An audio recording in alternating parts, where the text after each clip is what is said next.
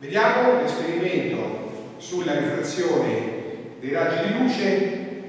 con il disco di Hubble. Questo è il disco di Hubble, un goniometro essenzialmente, un proiettore che collegato a un alimentatore a bassa tensione